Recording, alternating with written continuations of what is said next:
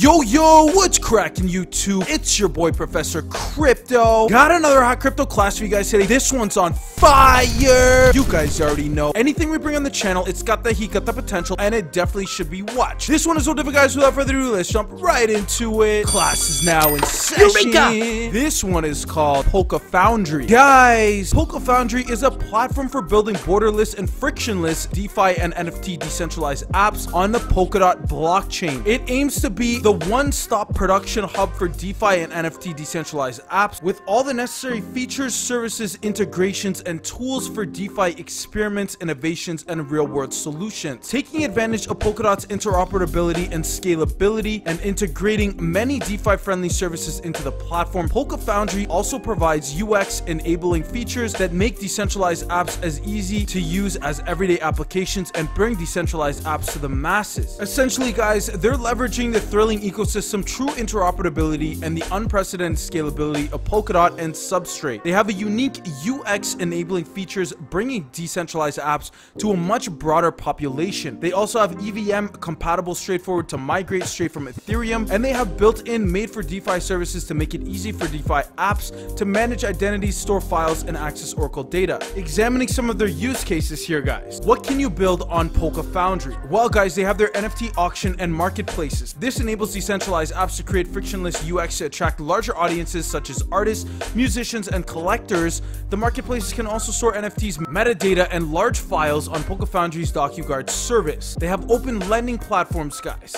You can connect decentralized apps to reliable sources for price feeds and credit checks to automate loan decisions. They also have cross-chain decentralized exchanges. This you can exchange with tokens on parachains or cryptocurrencies on external chains like Bitcoin, Ethereum, etc. via bridges. As for their DeFi derivatives, with their EVM support, it's straightforward and brings ideas from the Ethereum blockchain derivatives decentralized apps to the Polka ecosystem. The high scalability and interoperability of Polka Foundry can drive new innovations into this space.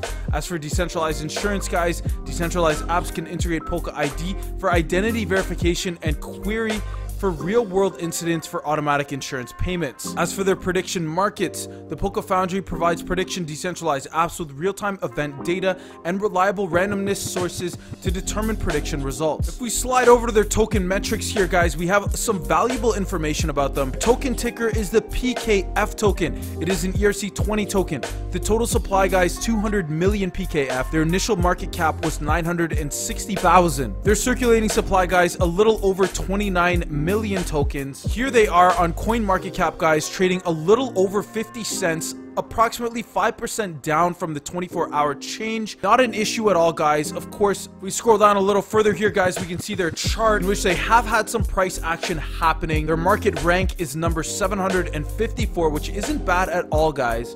And their trading volume a little under a million dollars. So how does the Polka Foundry overview fit in the Polkadot ecosystem? Well, guys, we have a little bit of a chart here explaining that. We have the parachain, the DeFi utilities, and the bridges all connected to the Polkadot relay chain. From there, that flows into the Polka Foundry platform and the Polka Foundry blockchain, which we have Substrate EVM UX features, as well as the Polka Foundry DeFi services, Polka ID, DocuGuard, and Polka Gate. As for the external data providers, we have Chainlink, Kylink, Paralink, Oral, and others. With their innovative features, how does Polka Foundry solve the decentralized apps UX issues? Well, guys, as for the signing key, they've used in a place of the private key. Each signing key has an expiry time and a limited set of permissions. Thus, leaking yields much less and serious consequences. This more efficient signing process improves both decentralized app security and the UX safeguard to the keys. As for a flexible payer, decentralized apps can pay transaction fees for users in a decentralized manner. As a result, guys, decentralized apps can employ much more flexible monetization strategies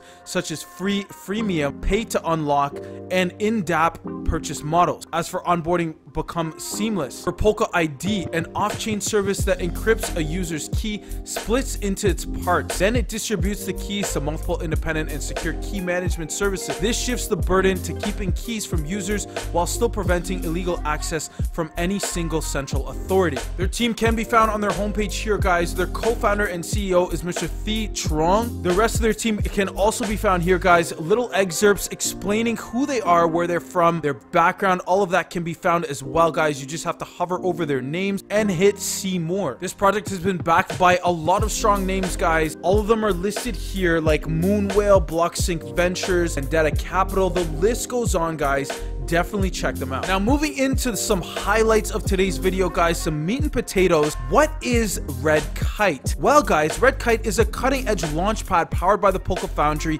as a part of the growing PKF ecosystem. Red Kite projects are carefully chosen through vetting, which takes everything from the origins of the project teams to legitimacy and implementation capacities into account. These projects are also supported by a network of their high-class marketing partners, leading influencers, and interactive communities. When we look at some of the features features of the Red Kite, guys. They have multi-chain support. They're supporting Ethereum, Binance Smart Chain, Polygon pools, and is testing Polkadot pools on Polka Foundry testnet to become the first launchpad on Polkadot with flexible pool types and whitelist conditions. As for their tier and reputation, this mechanism monitors and punishes negative behaviors to the token's pricing. The reputation score will affect the participants' tier and their ability to participate in future launches. As for fairness, guys, they have a lane-based swap system. With Red Kite's lane-based swap system, guys, every participant will get an opportunity to join based on their tier without indulging in a gas war to ensure fair and efficient participation. As for their integrated vesting schedule, unlike other launchpads, guys, Red Kite Launchpad has a customized distribution feature that will allow projects to vest their tokens in pre-sale or post-sale secondary offerings. As for their parachain crowd loan, guys, the Kusama and Polkadot parachain auctions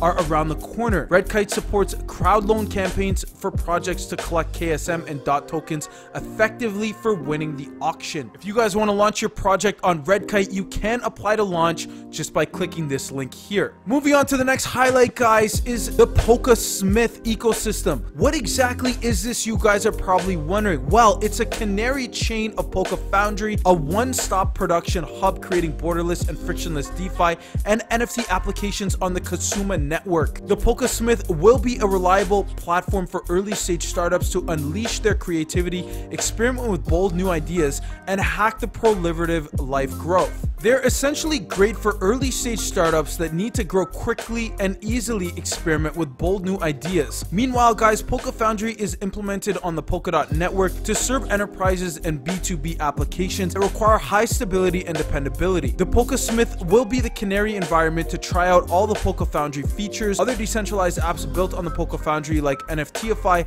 and Swapaberry also don't have to wait for Polkadot to create a runnable application. Instead, they can work and experiment on their canary environment. Shout out to all my students. I love you. Group shout out to the Crypto Class Gang. Shout out to the Lambo Gang. Shout out to the Whale Gang. Shout out to the Hodl Gang. Thank you for always your continued support, guys. I really appreciate it. If you guys enjoyed this video, please be sure to smash that like button for me. Drop a comment in the comment section below. Please remember, guys, we are an impartial channel, so whether your opinion is negative or positive, we'd be more than happy to hear it. That being said, guys, class is now dismissed. We'll see you in our next video. Professor Crypto out.